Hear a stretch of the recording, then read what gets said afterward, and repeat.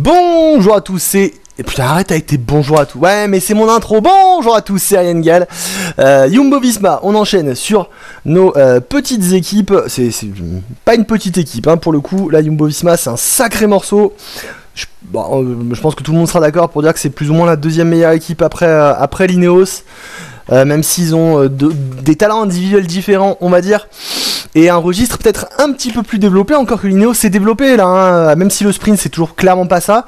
Avec Pitcock et, et Hayter, ils, tapent quand même dans des, euh, dans des, euh, comment on dit, dans, des punchers assez intéressants. Alors. Euh, je vais refaire des modifications hein, sur, sur ce que j'ai déjà fait. Donc, euh, Wout van Aert, euh, c'est pas dégueulasse quand même, Wout van Aert, hein, comme, euh, comme un petit coureur. Il remporte l'Amstel Gold Race, il fait deuxième de la Flèche Brabanson, remporté par Pitcock, justement, je crois. Il remporte Gandwevelgem, il fait sixième du Tour des Flandres. Il remporte une étape sur Tirreno Adriatico, il remporte le maillot vert de Tirreno Adriatico. Donc quand même, quand même, on va lui remettre son 79. Et on va laisser à 80 en sprint, mais ça pourrait monter à 81. Vous savez quoi? J'ai bien envie de faire un truc en fait pour lui.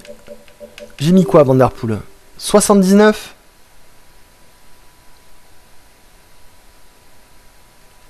Et 82 Axel par contre. Euh, et toi je te mets 79 accélération et 80 sprint. Ça me paraît équilibré. Je vais le laisser comme ça.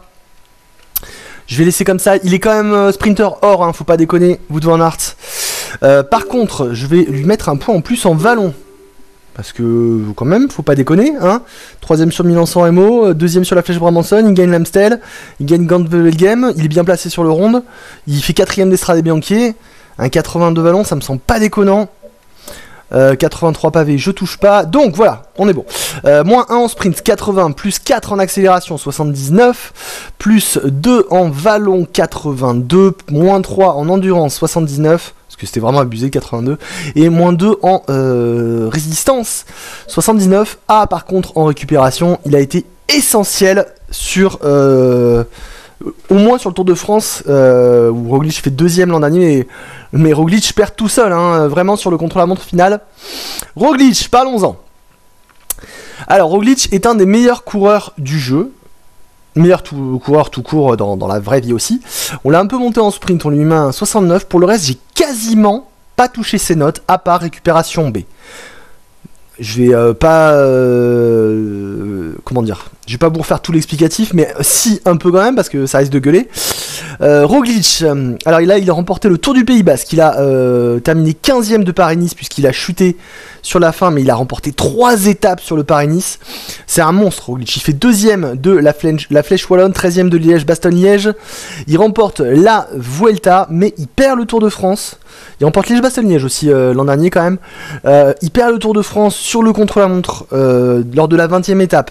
Avant Paris-Nice, il est premier là, le, Paris-Nice où, il- fait 15ème, il est premier à la veille de la dernière étape, il tombe deux ou trois fois, il finit, euh, il finit euh, 15ème. Euh, le Giro d'Italia, euh, il le perd dans la dernière semaine également, alors qu'il est deuxième et que tout le monde pense qu'il va, euh, qu'il va euh, passer devant, et finalement c'est Carapace. Je crois qu'il emporte, sauf, sauf si je vous dis une connerie. Bref, il est un peu coutumier du fait. En 2018 déjà, sur le Tour de France, il était, euh, il était troisième avant, euh, il était sur le podium avant euh, la 20e étape. Et c'est sur la 20e étape, sur un chrono qui est censé être une de ses spécialités, qui, euh, qui, perd, qui perd sa troisième place. Du coup, du coup je lui laisse des stats absolument extraordinaires. Il est grimpeur il est puncher argent, il est rouleur argent. Mais par contre, je lui baisse sa récupération à B. Euh, un peu de la même manière que je l'ai baissé pour, euh, pour Pinot, mais C. Euh, je lui mets sa récupération à B et on va voir ce que ça donne en jeu. Tom Dumoulin qui s'était pris un 77 montagne, mais genre c'est la fête du slip. Je l'ai remonté, gros rouleur quand même Tom Dumoulin, même s'il a un peu déçu là hein, sur le contre-la-montre du, du Tour de Suisse. Enfin, il m'a déçu moi en tout cas. C'est sa course de reprise, hein, cela dit. Il fait 16ème du contre-la-montre du Tour de Suisse. Plus 2 en plaine, 76. Plus 3 en vallon, 77. Alors c'est un peu haut pour les capacités de vallonneur de Tom Dumoulin, mais c'est euh, aussi du fait que j'ai monté tout le monde hein, globalement. 80 euh, en montagne plus 3 euh, l'an dernier, ça avait été le, plus, le meilleur lieutenant de, de Primoz Roglic en montagne évidemment. Et quelle honte que Dumoulin soit un lieutenant, ça me fait, ça me, ça me rend fou.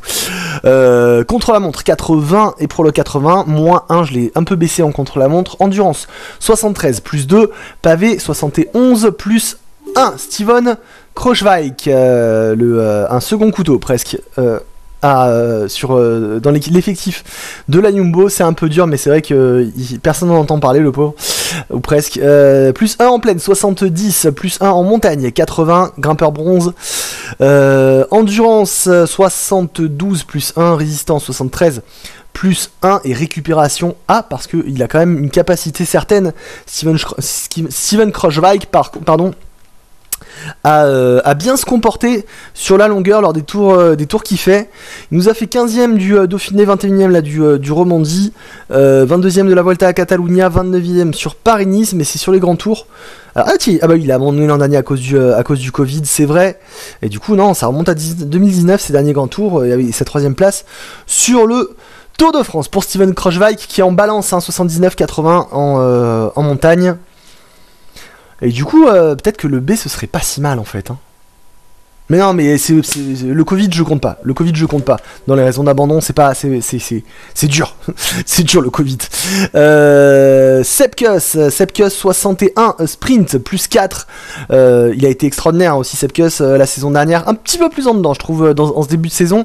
73 plus 3 en accélération, 77 plus 1 en vallon, 80 en montagne. On n'a pas touché. 70 plus 5 en contre-la-montre, 72 plus 7 en prologue, 73 plus 4 en euh, endurance et on lui a laissé son, euh, son A en euh, récupération. Pour l'instant, c'est un peu dur. Hein. Ce début de saison, 23e du Critérium du Dauphiné, 14e du Tour de Romandie, 12e de la Vuelta à Catalunya et 16e du Tour UAE. Euh, 16e euh, l'an dernier sur la Vuelta à, Catalunya et 15e sur le Tour de France en jouant des rôles d'équipier, 10e sur le Dauphiné également. Il a fait une très très grosse saison l'an dernier. Je lui laisse son 80 parce que je pense que il n'a pas encore vraiment vraiment lancé sa saison. En tout cas, pour l'instant, Dylan Groenewegen, euh, bah, il n'a pas couru depuis quasiment un an. Euh, on a vu que c'était un petit peu compliqué pour lui de se remettre dedans. Il a bien évidemment pas terminé euh, son Giro. il a abandonné à la 14e étape. Il n'est pas, pas, parti à la, 4, la 14e étape. Son meilleur résultat, c'est une quatrième place sur la première étape. Et c'est tout. Après, il fait 7, 8 et 10. Donc voilà, je l'ai descendu à 79 sprint, 79 montagne, Dylan Luneveren. Vingegaard, il a connu un sacré boost, Vingegaard. Alors, plus 4 euh, en euh, vallon, plus 2 euh, en montagne, 79, donc 78 vallon, 79 montagne. 75 en contre-la-montre, 76 en prologue, 71 en endurance et C en B pardon en Récupération, Vingegaard, c'est 51ème du Tour du euh, Dauphiné, mais en faisant deuxième sur la dernière étape et 7ème sur le euh, contre-la-montre quand même. Il est euh, meilleur jeune du Tour du Pays Basque en finissant deuxième du général avec une troisième place, une quatrième place, une sixième place et une huitième place. Il remporte la semaine internationale copier Bartali en finissant également maillot vert avec deux victoires et une deuxième place ainsi qu'une sixième place sur le chrono. Bon, voilà, hein, il a fait une grosse saison de, fin de saison déjà l'an dernier. Vingegaard, il est loin d'être inintéressant, par contre il a l'air blasé sur sa photo. Euh, Tobias Foss qui a connu un sacré boost également. Alors, bon vous avez vu ce qu'il a fait sur le Giro, je pense que j'ai pas besoin d'épiloguer trop longtemps. 71 en pleine, plus 1. Euh, je pense même qu'il a perdu un peu du temps hein, sur le Giro en, aidant euh, Bennett alors qu'il était au-dessus.